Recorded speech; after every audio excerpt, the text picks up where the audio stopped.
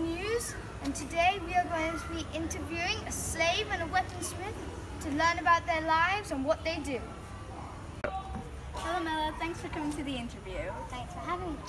So what's it like being a farmer?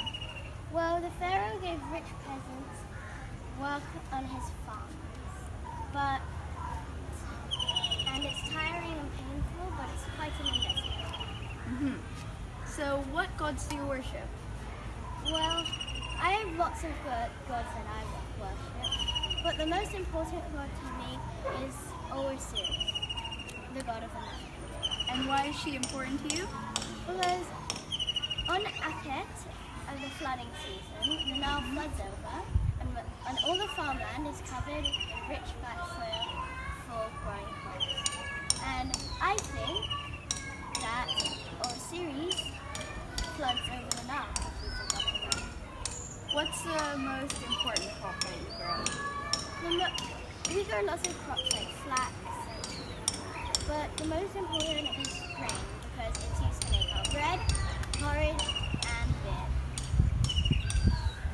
Um, so that's all for today. Uh, thanks for watching.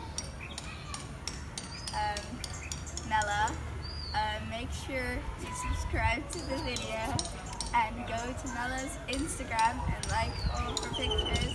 It's Mela underscore farmer 101. Um, yeah. Yeah. Hi Mila. Um, thanks to coming to thanks for coming to our interview. How does it feel like being how is life being like a baker? Um, well, it's really nice to see people eating food and yeah, to make them happy. What do you usually make for Christmas? Um, well, I make cakes, cupcakes, and cinnamon buns. Oh. Um, what's your most popular, like famous food that everybody mostly loves that you make? Um, well, that's the Okay. Well, how do you make them? Like, uh, what's your ingredients? Are there any sweet, like, how do you make it? Um, well, I don't think I can tell you. Oh, never mind. Well, by the way, um, I heard that there- there's no sugar in uh, your uh, in Egypt. So, how do you even make your those? Make sweet? Yeah, um, I use honey, it's hot, because it's sweet, and I use fruit juices, and yeah, it's just sweet. Cool, really nice. Um, once again, thanks for coming to No problem. Okay, so here, I'm here today with my slave friend uh, Miles.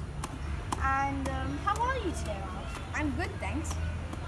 Okay, so I was hoping you could tell us a bit about how it is to be a slave. It's quite rough because you sleep on the floor on a little rug. Ooh, that sounds tough. Yeah, and if you mess up, you get hit by a stick. Ouch. And you only get one meal a day. Mm, doesn't sound like the job for me. Okay, next we're going to go into to the weaponsmith. So, here we are now with the weaponsmith, and his name is Noe. How are you today, Noe? Okay, so have you made any weapons today? Yes, I've made a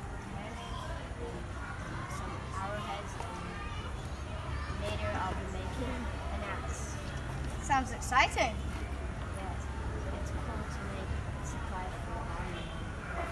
Okay, I heard uh, you get uh, paid quite a lot.